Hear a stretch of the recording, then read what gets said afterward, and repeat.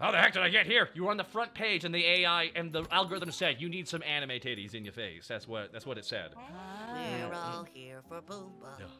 Yeah, they're all here for booba. Booba. Yeah, all here for booba and ass. Should we three be dancing to that song? I don't. I don't. I I, I I I I I would argue it makes the thumbnail way easier. Uh.